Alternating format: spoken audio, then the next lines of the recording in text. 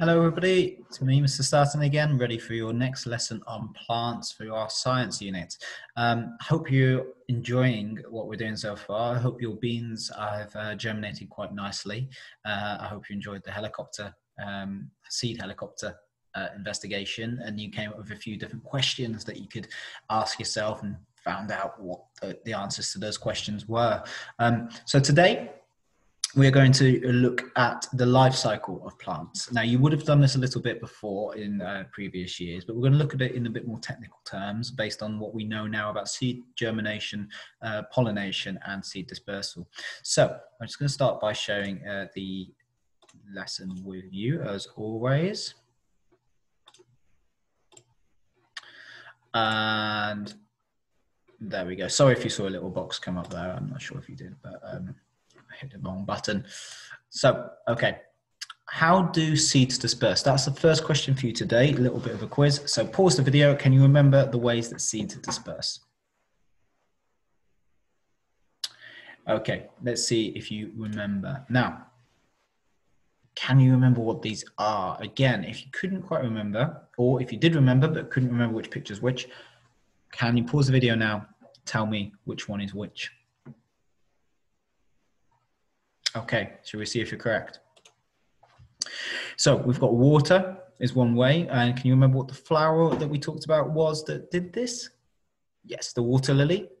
Uh, fruit, can you remember how fruit is, uh, the seeds are dispersed of fruit?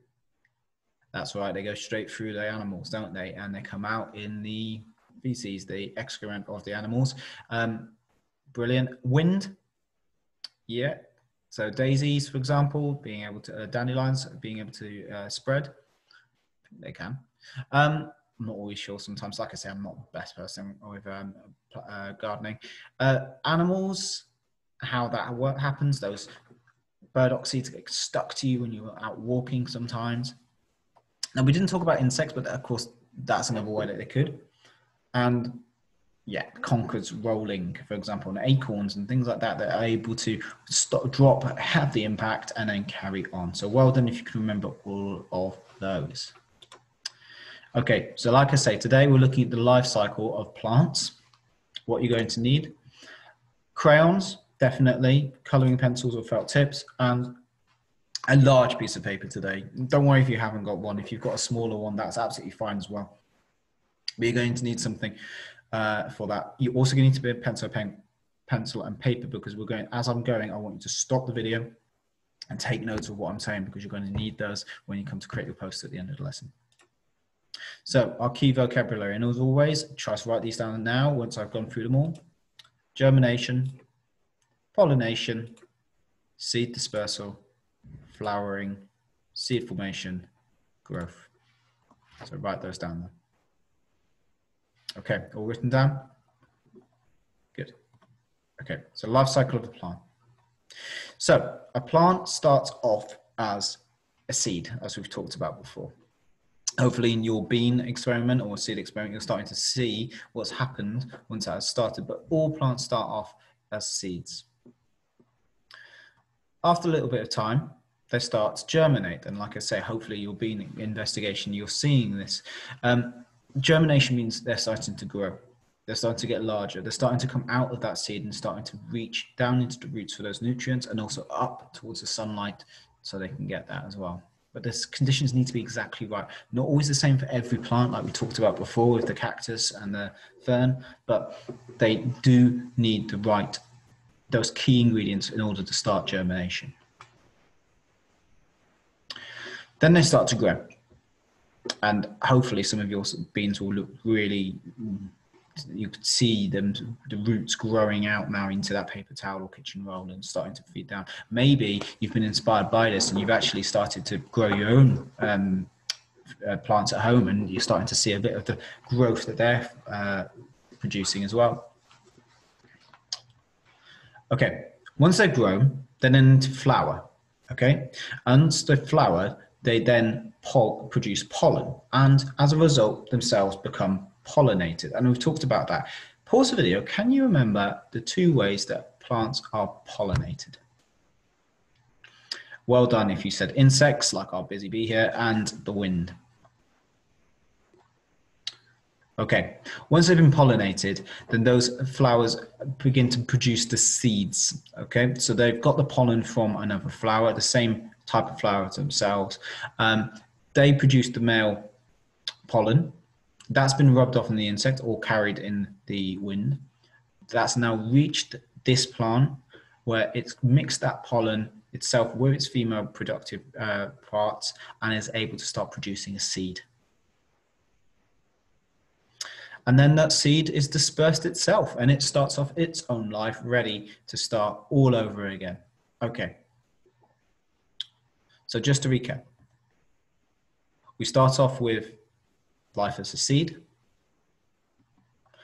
Once it starts getting all the nutrients it needs, all of the key ingredients for life, then it starts to germinate.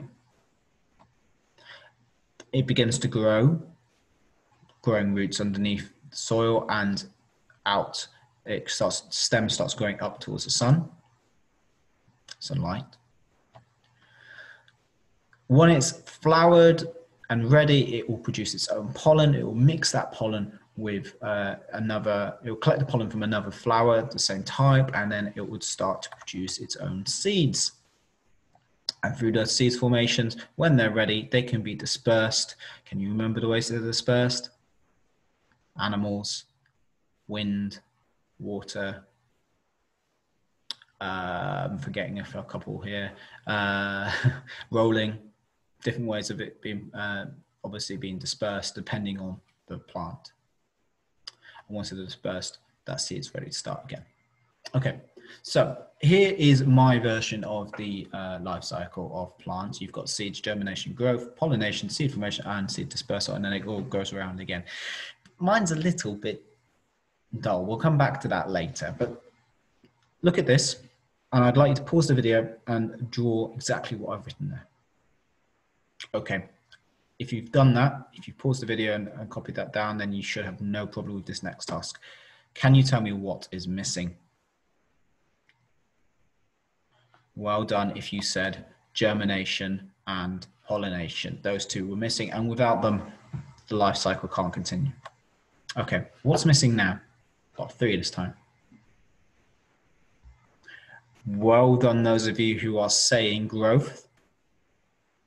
Well done, those of you who are saying seed formation, and well done, those of you saying seed dispersal. Again, we need all of them in order for the life cycle of the plant to continue. Okay, like I said, mine is a little bit dull because I've done mine on PowerPoint and uh, I wanted to make it very simple and easy for you to see.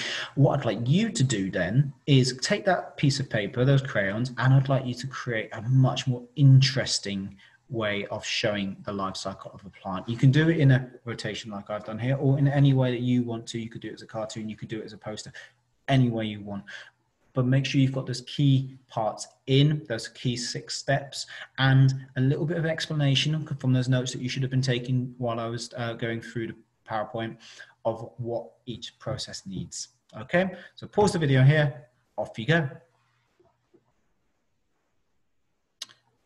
Okay, everybody, brilliant posters, brilliant. Uh, some of you there have got um, fantastic drawing, excellent vocabulary, I'm sure, from everybody as well.